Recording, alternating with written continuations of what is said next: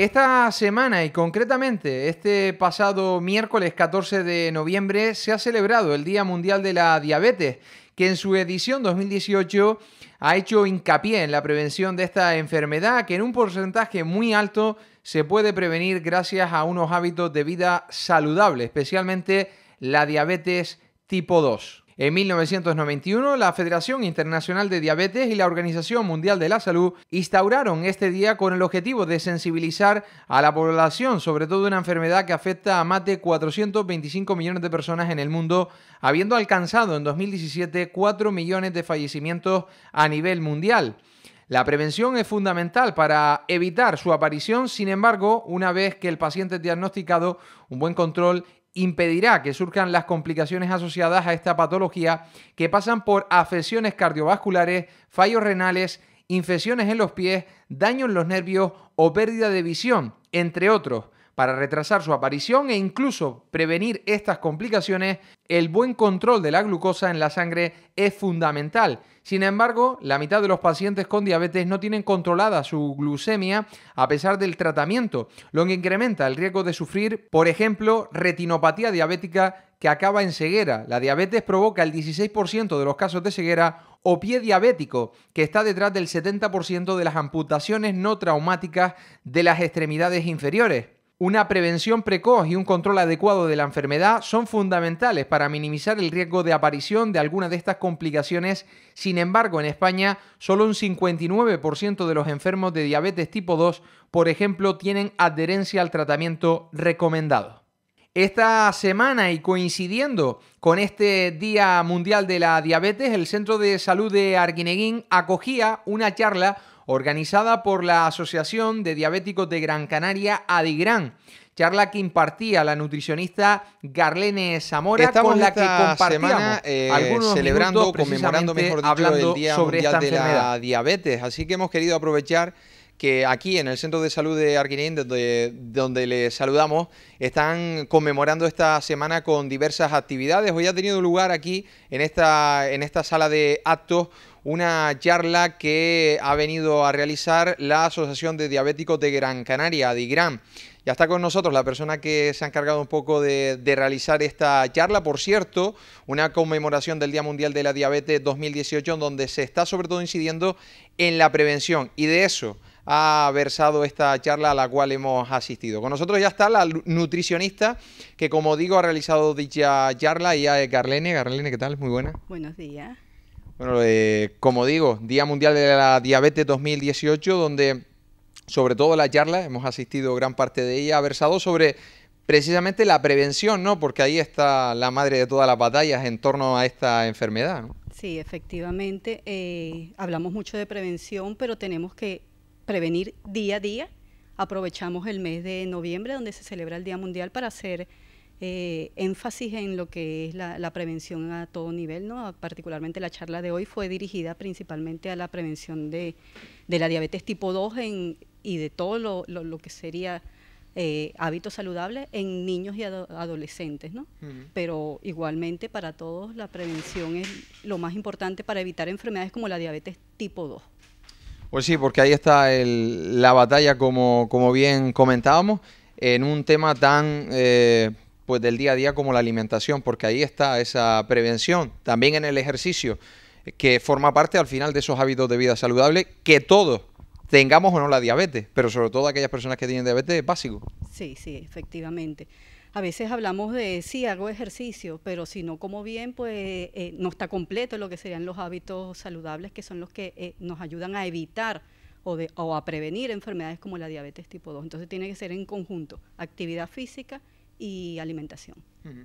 Bueno, estando muy atento a todo lo que también han preguntado las personas que han asistido a esta charla, la dificultad yo por lo menos la veo como consumidor, al final el que va al supermercado, precisamente la industria alimentaria y también quizás la, la, normativa, porque es que le permite que nos vendan gato por liebre en muchas ocasiones, ¿no? No, bueno, la, la, normativa está allí y cada vez va mejorando. Ahora se está hablando, ayer mismo salió una noticia de cambios en el etiquetado para hacer más fácil el, entender los productos, eh, pero también está en gran medida de parte nuestra aprender a leer ese etiquetado y aprender a leer la información que nos están dando, ¿no? Que, que no nos metan gato por, por liebre, ¿no? Sí, está ahí, pero, pero cada vez se hace más complicado, Carolina. La verdad es que, es que los colores que, que, utilizan para hacer todo, todo este tipo de productos, han hablado aquí en esta charla algunos familiares que, que tienen eh, algunos menores con, tipo 1, ¿no? Esta que, tú has explicado bien, que, que, no se sabe, por más estudios que hay, no se sabe de dónde, de dónde sale y, precisamente explican la dificultad que tienen a la hora de comprar los productos en el supermercado. Sí, sí. En la diabetes tipo 1 casi es una obligación aprender a leer etiquetas porque es con lo que van a calcular la insulina. Eh, y sí, eh, fácil no es, yo siempre se lo digo, leer etiquetas no es fácil, yo aún día a día estoy estudiando pero bueno, mientras menos etiquetas y sean productos más, más naturales, pues muchísimo mejor. Entonces en tu trabajo día a día como nutricionista, la verdad es que te cuentas casos de, de este un montón. Eh, ¿Qué resaltarías de, estas personas que llegan por primera vez con un problema como la diabetes a tu consulta y, dónde incides para, tratar de, bueno, de, controlarla ¿no? en la medida de lo posible? Sí, mira, eh, si es diabetes tipo 1, pues centrarnos en la cantidad de hidratos de carbono de la alimentación y que sea comida sana. Y si es diabetes tipo 2, comida sana. y, controlar las cantidades, las porciones. ¿no? En diabetes tipo 2 no, no debería haber alimentos prohibidos, lo que sí alimentos saludables y, controlar las cantidades, ¿no? O sea, la, fruta, mucha fruta, mucha verdura, legumbres, alimentos que, que me van a ayudar a tener una mejor calidad de vida eh, eh, a futuro, evitando las complicaciones de la diabetes. Hablamos de prevención y si hablamos de, prevención hay que incidir sobre todo en la población infantil. Pero ahí también tiene mucho que decir las familias, los centros educativos, cada vez hay más programas, de eso hemos hablado en muchísimas ocasiones, pero hay que seguir incidiendo, ¿no? Sobre todo en las familias, que a veces le pedimos a los niños que hagan lo que los adultos no hacemos. Exactamente, sí, sí. Eh, como núcleo familiar, pues Ah, se llevan charlas, desde Adigram vamos a, los diferentes centros educativos y se les informa a los niños cómo comer, qué es lo que tienen que hacer, pero esa información llega muy poco a las familias. Los padres poco se mueven para ir a, los coles a recibir eh, información sobre lectura de etiquetas, tipo de alimentos. los padres medianamente dentro de sus conocimientos lo que hacen los centros de salud es tratar de que esos padres llevarle, eh, suministrarle información que sea práctica, pero es complicado conocer eh, todo lo, que se tiene que conocer para llevar una mejor calidad de vida en cuanto a alimentación, ¿no? Eh, etiquetas, yo digo, productos sanos, tratar de, guiarnos hacia lo que es la, dieta mediterránea, más productos frescos, de temporada, cercanos. Eh, Canarias pues tenemos plátanos, naranjas, buenas naranjas, vamos a comer más de ese tipo de alimentos. mucha verdura, tenemos que, que aumentar el consumo de fruta, eh, de verduras y, ensaladas. Y pues básicamente eso. Bueno, Adigran no solamente trabaja en este día, trabaja todo el año, Garlene. Me imagino que este día, eh, esta semana son de muchísimas actividades, ¿no? Que realizan en un montón de lugares. Eh, y bueno, por ahí vas a seguir seguramente, ¿no? Seguramente sí. Eh, de hecho, se celebra un solo día, que es el 14. Mañana precisamente vamos a estar en Triana y en Mesa y López haciendo detección precoz de diabetes tipo 2. Pero empezamos desde el mes pasado y terminamos en diciembre, lo que son los eventos para, para celebrar el Día Mundial haciendo un poco más visible una enfermedad que muchas veces pasa desapercibida. Todos sabemos, hemos escuchado de la diabetes, pero a veces no, no tomamos conciencia de que podemos evitarla con hábitos saludables.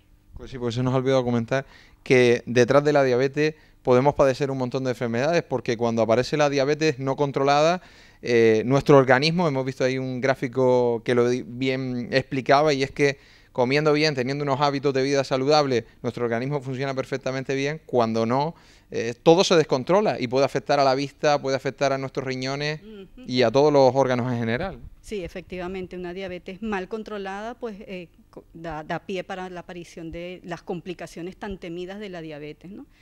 Y además, eh, evitando, con hábitos saludables, evitando todos aquellos hábitos tóxicos, pues no solamente prevenimos la diabetes tipo 2, sino que además prevenimos enfermedades cardiovasculares, otro tipo de enfermedades que son los que más padecemos, sobre todo eh, las personas, los adultos, vamos a decir.